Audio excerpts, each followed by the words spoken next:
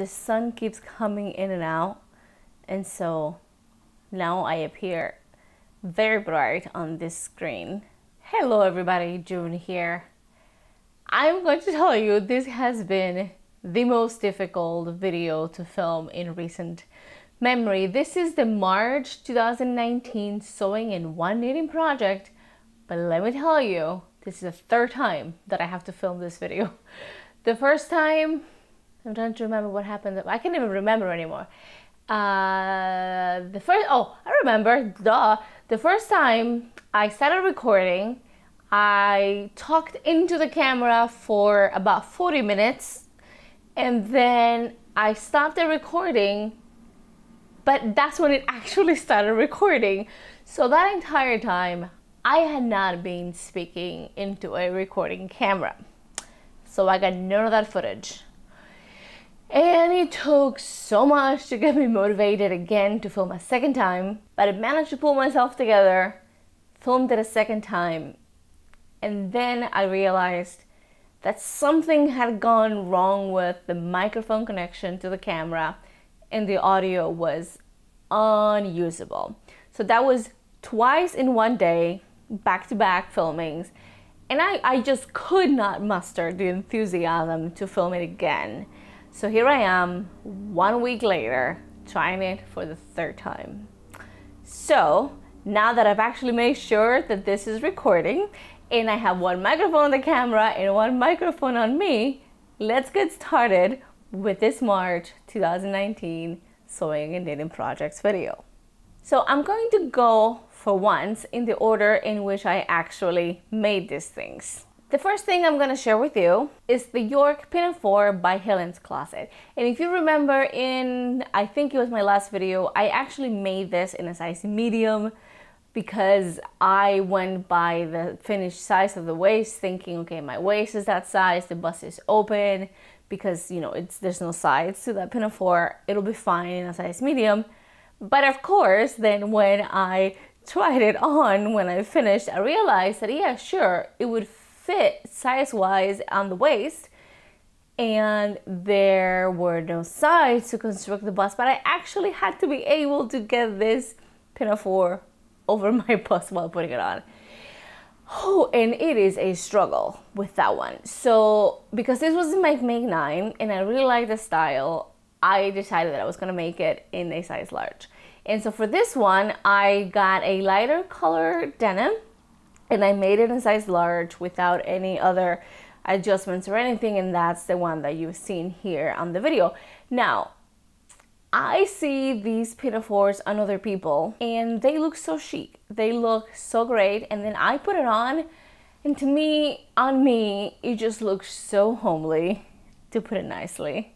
Not at all what it looks like on other people. And it may be my choice of fabric.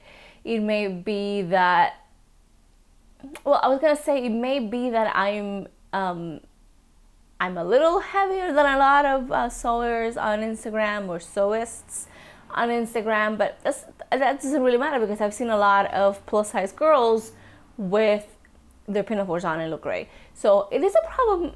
Maybe it's in my head, like I said, maybe it's a choice of fabric. I don't know what it is, but it's really um, not, it, it doesn't look as good as, as it did in my head. So yeah, I, I, I still like it. I will wear it, but I think it looks pretty homely on me. The next thing I'm going to share with you is this blouse I'm wearing. It is number 118 from Burda Style April, so the 2019 um, fourth month issue the current issue. It is a pretty boxy top as you can see. And I'm looking at my screen, so sorry if you, um, if I'm not looking through the lens, I'm looking at the screen to see what it is that I'm doing. So it is pretty boxy and it was so quick to sew. I um, got the issue in the mail uh, on, on a Friday afternoon. Was it Friday afternoon? Sometime in an afternoon and then that same night, I traced a pattern, and then by the next day, it was finished. It is super easy. It is pretty boxy and pretty big. And the minute that I saw it, I knew what fabric I wanted for it. I knew that I wanted this fabric. This is, as I'm sure you can tell, um, because everyone and their mother has sewn with this, It is the um, rayon challis uh, from a Rifle Paper Company and Cotton and Steel. Uh, it, it's, it's just all over Instagram. So like I'm sure people who see this on the street, they're like, I know you made that. Uh, people who sew. And yes, I did. And I made some adjustments. The most important one uh, was in the sizing. Normally for Burda, I am about a size 44, 46, depending on the style, and that is going by my full bust. Well, that's not true. I guess that's going by my high bust, and then I have to do a full bust adjustment. But for this one, I made a 42, and it is still pretty big. Um, I mean, it's supposed to be loose, but it's pretty baggy. So if I had a 46, I probably would be swimming in fabric, which is just not a good look when you are already slightly stodgy and busty. I also shortened the sleeves two inches just so that I could save some fabric and even even though I shortened them they are still pretty long they are just below my elbow which is I think about just as long as I would want them to be in a style like this. However, it does run short. Uh, if you uh, can see on the video here, I say this every time, but I'm five one and a half, and this is like just about on the level of acceptable for me. Anything shorter, I would absolutely have to wear with a cami underneath because when I lift my arms, you can just about see where uh, the waistband, the top of the waistband of my jeans is, and and to me that's that's just how much flesh I want to show. Like I don't want to show any more than that. So if you are taller than me, you definitely will want to lengthen the body. I keep trying to adjust the exposure so that I'm not so blown out because I can see I'm um, it's pretty bright, but it's kind of hard because the sun keeps coming in and out. Anyhow, the next thing that I made was the Kalle shirt dress by Closet Case Patterns. See? bright again. I had made a version of this. I made the dress version back in June, and this time I decided to make uh, View B, which is a tunic.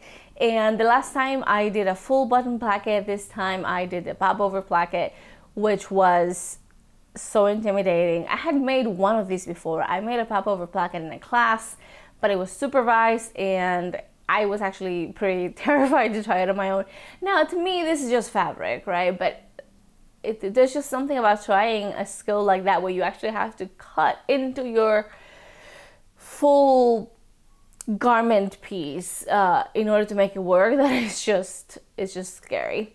Uh, however it turned out just fine. I think this placket is definitely a lot prettier than the previous placket that i made uh, the previous popover placket so i'm good with that. Now i made a size 10 because i got a little bit overzealous with the sizing. Last time I had made a size 12 and I thought, oh, I, I have plenty of room here. Um, and of course you do around the bust, but then, you know, because the, the sleeves are cut onto the, not cut, but um, sort of like grown on sleeves and even though you have sleeve bands, you still have to be able to get your arms in there and move around. And for me with a size 10, that just wasn't possible. So even though I had room in the bust, I had to go in and fix the seam. So instead of having 5 eighths of an inch, I undid the side seam and I ended up doing something like a quarter of an inch, um, inch, inch, quarter of an inch seam and that seemed fine. One other thing that bugs me about well, not one other thing, but one thing that bugs me about this is because the fabric that I used is not flowy, it's a shirting fabric, and I'll get to the fabric in a minute but it's not like it's, it's pretty crisp. The um, box pleat in the back, it just it just bulges out around the waist, and it's just not that attractive. And I remember thinking about this when I made the the dress version back in June of last year. I made it in linen, which is a lot drapier, but I still remember thinking, oh, if I ever made this again, instead of doing a box pleat, I would just gather the back piece onto the yoke. That way the fullness is spread out and you avoid that weird bulging um, on, on the back, which you can probably see in the video that I've posted here. Uh, so that, that's the only thing. Now the fabric, talk about stash uh, fabric use. Um, this fabric is uh, Lisette fabric from the year, take a breath, 2010. This fabric has been in my stash for nine years. Nine years. I don't, I think I got it at Joann's, that much I know, but I don't know why I got it. I don't know why I hadn't used it, but I just hadn't. If you've ever seen, like I know it's been in my stash for that long because the selvage has a date. Lisette fabric usually has uh, the season or at least the date, uh, the year in which the fabric was produced, um, and that was in 2019. And it is such a cute fabric. It's really hard to to get the colors. Um, like faithfully reproduced in video and in pictures but the background is like a minty green color and it's really cute. Now, I love this tunic, um, even with the slightly bulging back, that's fine, I'll wear it. And the collar was something else that um, I'm very proud of. I did not use the instructions that Closet Case gives for the collar because, like most collar instructions, it has you um, construct the collar like everything and then the last thing that everything is complicated but the last thing that you normally do in instructions provided with patterns is um, sew the the inside of the stand collar not the stand collar the inside of the collar stand to um, to the the the neck seam i guess. So on the inside which means that you have to fold it in and either do it by hand or um, figured out some way to secure it in place while either laying flat or folded in the wrong direction and then do it by machine. So it's just it's just complicated. And if you've ever done a collar with a stand, you know what I'm talking about. So I thought, okay, I'm gonna look through my books, and th- there's gotta be an easier way to do this because I do not like hand stitching unless I have to. And that method, because you have to essentially say a prayer when you're attaching that that that inside bit of the collar, um, it doesn't really look all that great. Um, and so I found this other method on a Singer book that I have. And in that method, the stands are the first thing that you sew by sandwiching the body of the shirt between the two pieces of the uh, of the collar stand, the inner collar stand and the outer collar stand and then you bring that out and then you sew the other part. and then the last thing that you do is sew the top of the inside collar stand to the top of the collar and that one uh, it is actually a much flatter seam first of all so it's not that difficult to get things to align and then because you're top stitching anyway uh, it's so much easier to get it to look right uh, so it's just a combination of just an easier method and it looks better and it requires zero hand stitching. So I love it. Uh, unfortunately, this is really difficult to explain without visuals. But if you have a chance to look at that um, collar construction, the book I think is called Singer, uh, the Singer Complete Guide to Sewing. Uh, it is not a vintage one. It is still in print. Uh, so I guess it's, it's just an overall great uh, reference. So I highly recommend it. And I find myself saying uh, uh, uh a lot in this video. Sorry for that. The next thing that I made was the Rigel bomber jacket by Papercut Patterns. And I made this already a year and a half ago, I think, in a scuba fabric. And that just didn't turn out right. But I knew that I wanted to give it another shot. So I bought uh, this gorgeous quilted double-sided fa um, knit fabric from Emma One Sock some time ago. And then I went on the hunt in the garment district here for uh, the collar um, ribbing and ribbing for the uh, the sleeve bands and hemband. So I find I found them all to match the same color as the fabric, which was great. Now, I have made several paper cut patterns. And by and large, I like them. I have no troubles with them, but I have issues with this particular one. And it has nothing to do with the look, the look is fine.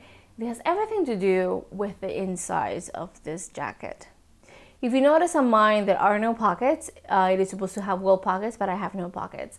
The reason for this is that this is an unlined jacket and the pattern just gives like virtually no um, consideration to what the inside of this unlined jacket looks like and it's a mess if you follow the directions and do everything as per the pattern the insides of this thing are just ugly and very amateurish um, just not a good look so I, I did actually want the pockets so I tried to do one and I I could see the seams that were uneven, welt uh, seams are not always even. I could see the interfacing, I could see raw edges. It was it was just awful. It was just awful. And then think about those pockets just flopping in there because they're not attached to any other seam. They're not covered by a lining. They're just free floating inside an online jacket. So I tried with the pockets, I put one in and I hated it. And then I tried to neaten the, the seams. So I went to serge them. And of course, I accidentally cut into the jacket while serging these raw edges.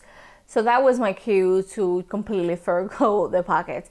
So I recut that side. Um, it was one of the, the front uh, uh, one of the front pieces and then went ahead without pockets. So that is my biggest complaint with this pattern is the fact that there is no lining. And yes, I know that I can draft a lining, but that is not the point. If you're going to design a jacket that has no lining, you absolutely 100% need to give a lot of consideration about what the inside of this thing is going to look like because this is not attractive. And quite frankly, I am very put off uh, from making another version just for that. That's unfortunate because I do like how it looks on the outside. And I mean, there's other things in there that I'm not crazy about construction wise, but I will leave that for a blog post. If I can get my blog back, I've been having blog issues. I've talked about this on Instagram. Um, but yeah, so that is the Rigel Bomber Jacket by Papercut Patterns. And the last thing that I made is the Ginger Jeans by Closet Case Patterns. Finally! So, um, before I go into the actual jeans, let me give you a backstory as to why I decided that I needed to make these jeans. And yes, because of course I like a challenge. I don't. But because I am short and jeans like I always have to get them taken up. But more importantly, I am very apple shaped. And because I'm very apple shaped, mid rise and um, high waisted jeans just don't work on me. I prefer them low rise, not not like early 2000s low rise, but you know, low rise. And I have found it impossible to find low rise jeans in stores these days everything you can find is mid-rise at the lowest and then high-waisted. And I've tried looking online, I tried in the US, I tried in the UK, I even tried in Spain and nothing. If you do not like high-waisted jeans or mid-rise jeans, you're kind of out of luck in the current market. So, because jeans do wear out, I needed to make one pair if I wanted to have low rise jeans. So that's where the ginger jeans come in. And so I made view A, which is the low rise version with the stovepipe legs. I love these things so much. I made a size 8. Uh, I shortened the legs two inches above the knee and then one inch below the knee to cut the fabric and then when I was hemming them I cut off another inch. One other adjustment that I made was that I took in the, well, I didn't take it in, but the waistband, I slashed it, uh, but not all the way. I left a little hinge at the part that joins the, the yoke and I overlapped it to take off some of the uh, of the excess on the top so it also made it slightly more curved and I think I ended up taking about I want to say half inch off of the waistband total. And that made them stay on perfectly. These are so great. They settle just where I like my jeans to settle. Um, they are not like they don't give me a muffin top. I could actually take in the waist a little bit more, maybe for the next pair, but they are so flattering. I did raise the pockets one whole inch because they were very low for me. Even on a size 8, they were very, very low. But all in all, these are so great. Uh, and I have said before that I am very much a quick projects kind of person because I like like I, I like having a finished product. But because the finished product of these jeans is so great and I'm so happy with them, I really honestly thoroughly enjoyed the process. It was it took me like 3 days to make these um, with you know breaks in between. But I really really enjoyed it and I cannot wait to do it again and make a different pair. I I have so many plans, but of course, you know, this is spring now, so I have to get going because who wants to wear denim in the summer in New York City? Not me. And the last thing that I made was a pair of knitted socks to which everything sticks. These, um, the pattern is called Vanilla, and I can't remember the designer, but you can find it on on Ravelry. It's just a very basic pair of socks, and I used the the uh, yarn that I dip dyed myself using Wilton um, teal food coloring. And I think I put that in a previous video. But I didn't actually intend for this to look this way, but it looks slightly uh, self-striping. And they actually looks a lot brighter on, on the video than they are in real life. Um, but yeah, so just a pair of comfy socks in yarn that I dyed myself. Uh, I feel like it's a pretty good accomplishment. I don't often knit socks um, just because like I have second sock syndrome. You make one sock and then you get bored and then you don't make the other one. But these ones I knocked out pretty quickly. They have an eye of partridge heel and they are just very quick to make. And if you have a yarn that uh, is is really pretty and you know you want the yarn to be the start of the show, then a simple sock pattern like this is the way to go. And that is it. Two of these projects are from my Make 9, uh, although I had already done one. So the York Pinafore is part of my Make 9 and then the Ginger Jeans are part of my Make 9. So with those two and then the, uh, the Weekend Sweater, Weekend Weekender sweater from We Are Knitters that I posted a couple of videos ago, that's three things off my Make 9 for 2019, so that's not too bad. I am very happy with the way that March went, and I should say that most of the of these sewing things I made within the span of one week because it was spring break, and after I had a crazy two and a half months uh, with work, just it was it was nutty. I've been talking about this forever, so I won't go into detail. I decided that I actually needed to take a break, so I did nothing during spring break except sew, and it was great. I wish I could do that more often. I highly recommend it. Just don't do anything for a whole week and just oh, sew. Good for me. So thank you so much for watching. Goodness, I hope that this video actually works out because I am not doing it again. I will see you next time. Bye.